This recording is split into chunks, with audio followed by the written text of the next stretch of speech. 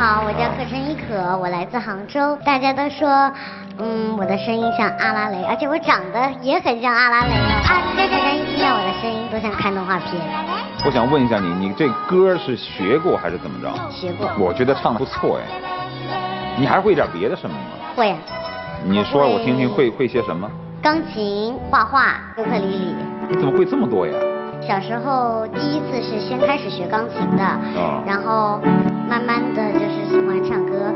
在很小很小的时候，我妈妈车里有一首歌是伤不起，然后我听一听就会了。哦，就这歌是吧？对。算算算，这歌跟你那个刚刚唱那歌相差甚远。你这样，你给叔叔来一首尤克里里好不好？好的。好来，把那个尤克里里给他拿上来。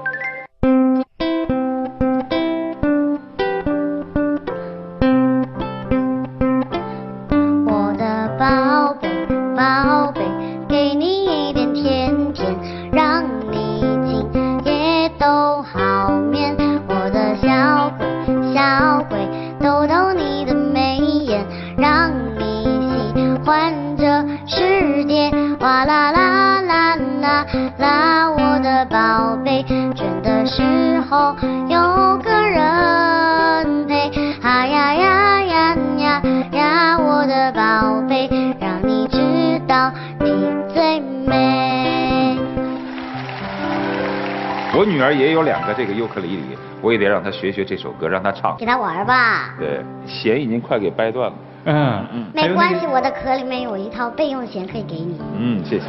你会不会打快板呢？快板？我为什么要会打快板？就像这个。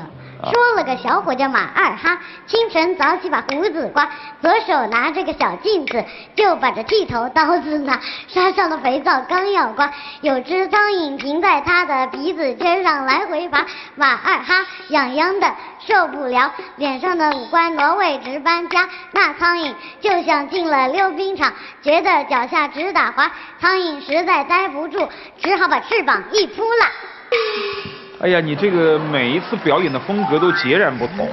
唱歌的时候呢很安静，这个弹尤克里里的时候很甜蜜，这会儿打快板又很利索。你怎么会这么多才艺呢？是妈妈带我去各种各样的老师那边教。那你喜欢吗？喜欢。那你这什么时候发现自己有这样的多才多艺的能力呢？因为不是所有的小朋友都会这些的。好像是三岁。三岁的事儿你也记得？那你那那你学这些东西的时候，妈妈都陪着你吗？嗯，都陪着你。妈妈说，因为我视力不好，所以她是我的眼睛。看得清我吗？我帅吗？嗯。给点面子吧。好帅。别让小孩子为难。妈妈今天来了没有？那我们请妈妈出来好不好？我们有请妈妈。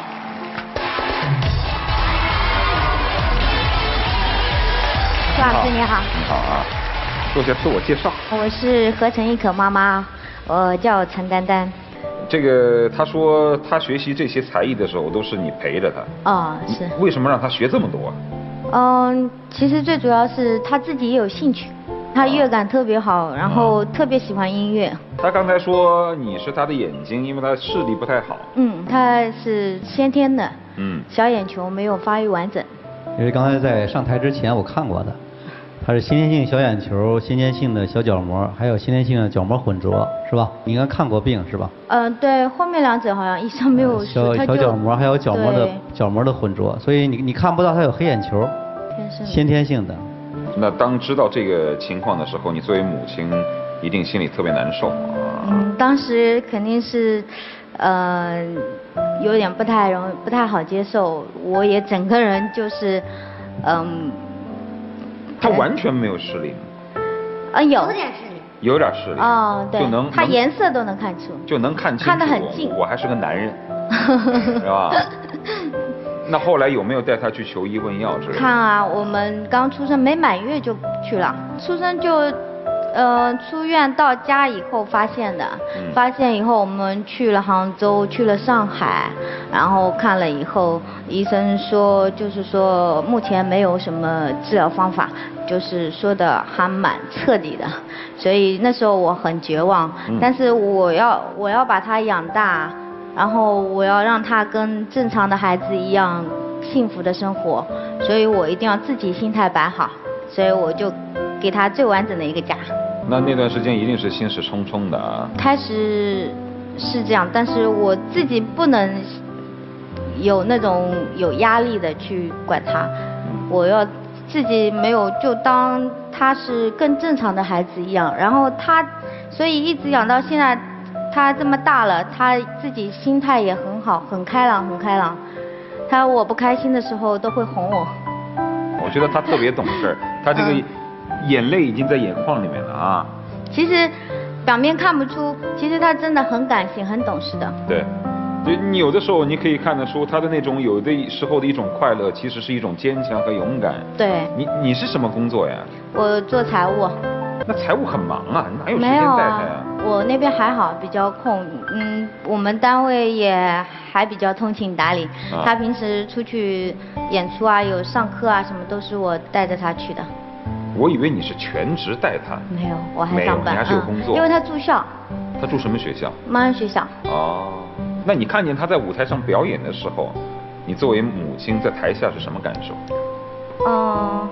其实就像他自己说的，我在台上的时候就是一颗最亮的星星。我看着在他在台上，他就是最自信的他自己，嗯，最开心了，因为他就喜欢在台上表现自己。即便他未必看得清台下，但他很享受。因为他觉得他唱歌给人家听，人家会很开心，他自己也很开心。之所以我看不见台下，所以说我才不会紧张。这个我们都说孩子其实说有一方面的天赋，但是如果他学的太多了的话会很累，你会担心吗？其实我是随自己随他随性他自己的，他如果说太累了，那我们可以休息一下，或者说他说这，比如说有时候期末考试啊，他会觉得作业很多，说想停一下课，然后考试考完了他自己再会补上去。但是他有时候在家里做作业，有时候也会说作业做的比较累了，去练一下琴，放松一下，开心就好。我就要他开心。对你可能最担心的应该是这个孩子与众不同，那么会不会有周围的眼光伤害他？呃，这个其实我没有太多在意，因为在我眼里他就跟别的孩子是一样的。嗯。嗯，而且我觉得有生了他，他这么大了，他陪在我身边，我觉得我也很幸福。不是他幸福，我也很幸福。就这十十来年，其实当初内心的阴霾已经慢慢对驱散了。对，看着他越来越多才多艺，越来越能够展现自己，其实心里的很多担忧都放最主要他还是蛮懂事的。干活吗？嗯，我会洗碗。那那个你说一个洗碗的步骤，我听听咋洗啊？啊，洗碗是有步骤的嘛？是有啊。啊，那你说给我。那我都不记步骤的呀。那你洗啥碗呢？洗干净就行了。怎么洗啊？我用我用那个那个家里的那个，我也不知道叫什么，反正就是一个这个都叫不出来。一个绵绵的一个东西。啊，对，我想，哎，涂磊老师，我想说一些刚才阿拉蕾特别懂事的事儿。嗯。就是刚才涂磊老师问阿拉蕾说：“我帅吗？”阿拉蕾就不说话了。我觉得他特别懂事儿。为什么？是我小声说给个面子，他说。后来我很勉强的说帅，他就说两字 好吧？说了。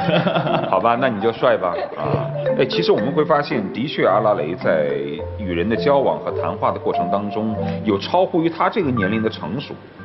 那是在去年前年的时候，嗯，有时候我会总有一点情绪化吧，然后他看我不说话不想了，他他会说妈妈你干嘛心情不好？你是不是心情不好？那我说没有。他说我跟你讲个笑话吧。嗯。然后他会让我开心，让我去笑。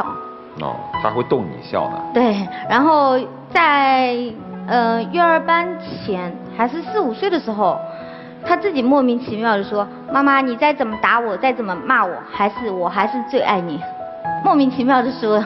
嗯，亦可，你为什么要逗妈妈开心啊？你感觉到了妈妈不高兴吗？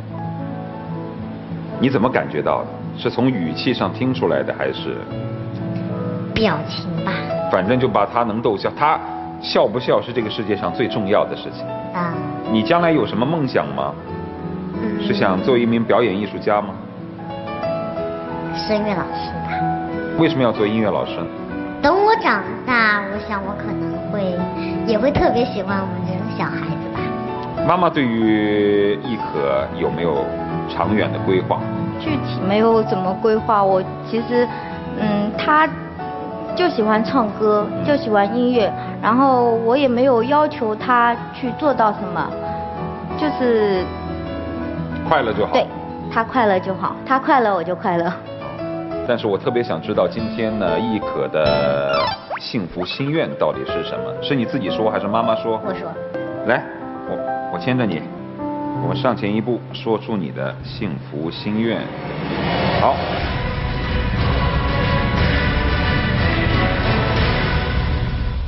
我的心愿梦想是想学更多的乐器。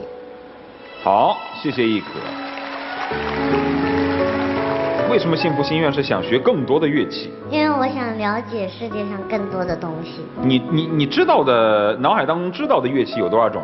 钢琴和尤克里里之外，你知道还有多少乐器？我还知道木鱼。